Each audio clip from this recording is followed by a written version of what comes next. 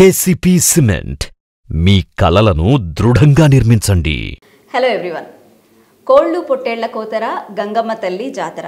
ఈ లిరిక్స్ మనం పుష్పలో దాక్కో దాక్కో మేకా సాంగ్లో వచ్చే లిరిక్స్ అనమాట అండ్ పుష్ప టూ పోస్టర్లో అల్లు అర్జున్ని ఒక శారీలో చూసాం. సో గంగమ్మ జాతరకి పుష్ప టూకి ఏదో కనెక్షన్ ఉంది అని మాత్రం అర్థమవుతుంది. సో ఆ స్టోరీని అసలు ఎలా ప్రెడిక్ట్ చేస్తారు ఏంటి అనేది మనం film critic and senior journalist G R Maharshi గారితో మాట్లాడదాం. సార్ నమస్తే. సార్ నా ఇంట్రొడక్షన్ విన్నారు. సో అల్లు అర్జున్ని అలా శారీలో చూసిన దగ్గర నుంచి జనాలకి ఇంకా క్యూరియాసిటీ పెరిగిపోయింది. అసలు స్టోరీ ఎలా ఉండబోతోంది అని. మీరు ఎలా ప్రిడిక్ట్ చేస్తారు సార్? అల్లు అర్జున్ ఆ వేషంలో కనపడ్డాడే ఆ వేషాన్ని ఏమంటారంటే మాతంగి వేషము అంటారు. మాతంగి వేషము అంటే ఏంటంటే తిరుపతి గంగ జాతరలో అంటే వారం రోజుల పాటు జరిగే జాతరలు ఎక్కడ ఉండవు. ఒక్క తిరుపతిలోనే ఉంటుంది. తిరుపతి గంగమ్మకు ఉన్న ప్రత్యేకత అది. తిరుపతి గంగ జాతరలో ఐదవ రోజు వేసే వేషాన్ని మాతంగి వేషము అంటారు. అల్లు అర్జున్కి గంగ జాతరకి ఎలా కనెక్ట్ చేసి ఉంటారు అనేది క్లా పూర్తిగా నాకు తెలియదు కానీ అసలు అలా ఎందుకు జరిగి ఉంటుంది అంటే ఆ కథే తిరుపతి ప్రాంతపు కథ.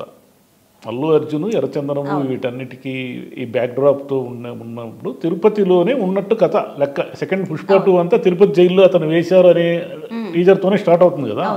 కాబట్టి తిరుపతి కథ అది. తిరుపతి కథలో ఏం జరుగుతుందంటే అసలు గంగమ్మ గంగమ్మ కథను గురించి మనం తెలుసుకోవాలి అంటే గంగమ్మ ఒక గ్రామదేవత. యాక్చువల్గా అయితే వెంకటేశ్వర స్వామికి ఆమె చెల్లి. చెల్లెలు.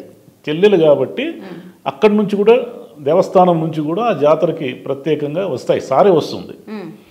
ఈ జాతరకు ఉన్న ఒక కథ ఉంది ఈ జాతరకి. ఎక్కడైనా సరే చెడ్డను మంచి గెలుస్తుంది. దుర్మార్గుల్ని దేవతలు శిక్షిస్తారు. ఈ సూత్రం ప్రకారం తీసుకుంటే తిరుపతిలో ఒక పాలేగాడు ఉండేవాడు ఆ రోజుల్లో. ఇదొక కథ. ఆ పాలేగాడు ఏం చేసేవాడంటే అతనికి విపరీతమైన అమ్మాయిలు పిచ్చి. ఆ ఊర్లో ఎవరు స్త్రీలు కనపడినా అందమైన స్త్రీలు కనపడినా కూడా అతను చెరపట్టకుండా ఉండడు. అతను మరీ ఎంత దుర్మార్గమైన మనిషి అంటే పెళ్ళైన నూతన వధువు మొదటి రోజు అతని దగ్గరికి రావాలి. ఇంత దుర్మార్గుడు. ఈ దుర్మార్గుడి నుంచి మమ్మల్ని కాపాడే దే దేవతలే లేరా దైవమే లేదా అని ఆ ఊరు ప్రజలంతా కూడా మొక్కులు మొక్కుంటా ఉంటే గంగమ్మ అవిలాల్లో ఉన్న కైకాల కులస్తుల ఇంట్లో పుట్టింది. ఈ గంగమ్మ ఏం చేసిందంటే యుక్త వయసుకు వచ్చిన తర్వాత వాడు మళ్ళీ ఆ పాలెగాడు గంగమ్మని మీద మోజుపడినాడు. కానీ గంగమ్మ ఒక ఉగ్రరూపిణి ఈ ఈ విషయం వాడికి తెలియదు. గంగమ్మ మీద చేయి వేయగానే ఈమె ఉగ్ర రూపం చూసేసరికి అతనికి భయం వేసింది చంపేస్తుందని. భయం వేసి ఎక్కడో పోయి దాక్కున్నాడు. దాక్కున్న తర్వాత వాడిని ఎలాగైనా చంపుతానని చెప్పింది గంగమ్మ. వాడిని బయటికి తీసుకురావడం కోసము గంగమ్మ తల్లి ఒక్కొక్క రోజు ఒక్కొక్క వేషం వేస్తుంది. ఓహో అయితే ఇప్పుడు పుష్పలో మనం అల్లు అర్జున్ని ఒక చీరలో చూసాం ఆ పోస్టర్లో. అది. సో దీనికి దానికి కనెక్షన్ దానికి దీనికి లింక్ ఉంది. ఎవడైనా విలన్ పుష్పకి దారుణంగా అన్యాయం చేసి ఉంటే వాణ్ణి గంగజాతర వేషంలో వెళ్ళి ఆ గంగమ్మ ప్రేరణతో గంగమ్మ శక్తితో పుష్ప వాడిని అడ్డంగా చంపేయడమో నరికేయడమో జరిగేది ఉంటుంది ఆ సినిమాలో.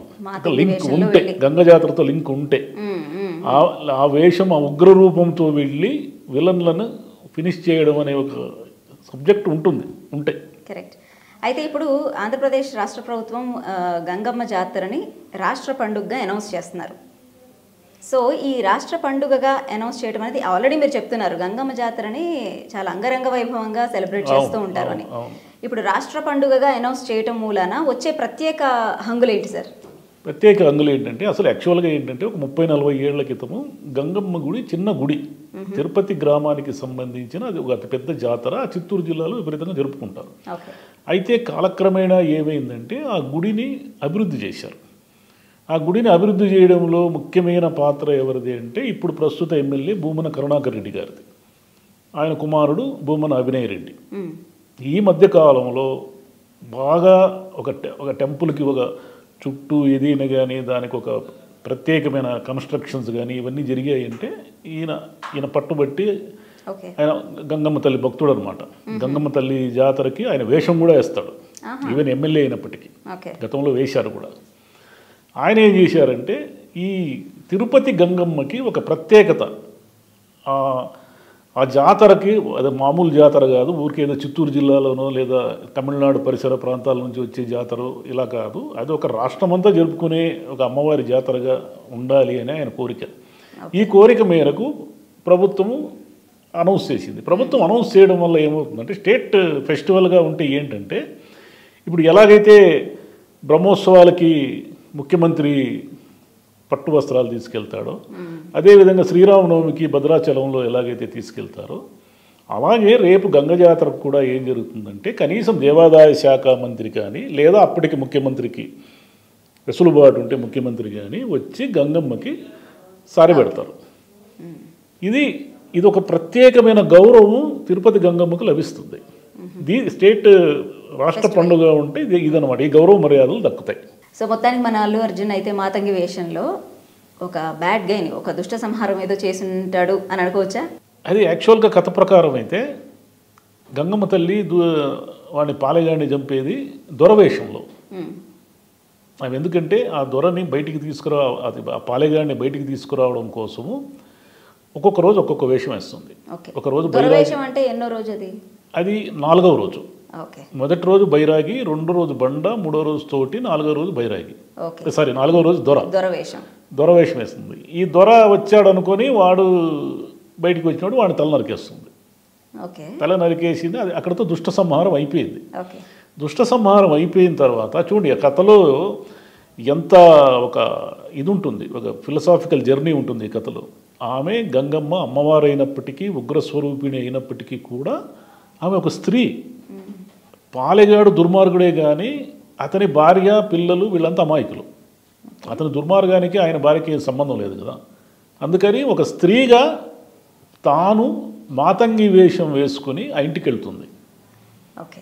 వెళ్ళి ఆ కుటుంబ సభ్యులకి ఆ మా భార్యకి చెప్తుంది. దుర్మార్గం పెచ్చుమీరినప్పుడు దాన్ని సంహరించక తప్పదు. నేను ధర్మాన్ని న్యాయాన్ని కాపాడటానికి నీ మొగుడిని చంపేశానమ్మా. ఓకే. దీంట్లో నీకు నీకు దుఃఖం కలిగించినప్పటికీ ఇది తప్పదు ఇది జరగాలి అని చెప్తుంది.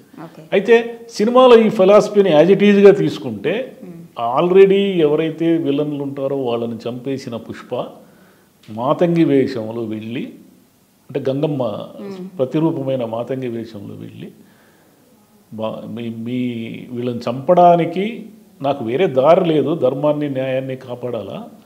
ఇంతకు మించి నాకు వేరే దారి లేదు. దుర్మార్గాన్ని చంపకపోతే అది ఇంకా పెచ్చుమీరుతూనే ఉంటుంది అని చెప్పే సీన్ ఉందా?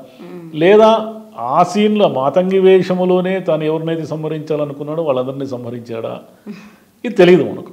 అది ఊరికే మనం ఊహాగానమే కదా. ఆ వేషాన్ని బట్టి మనం ఆ శిలా సినిమా ఇలా ఉండొచ్చేమో అని ఊహించడమే. Correct sir.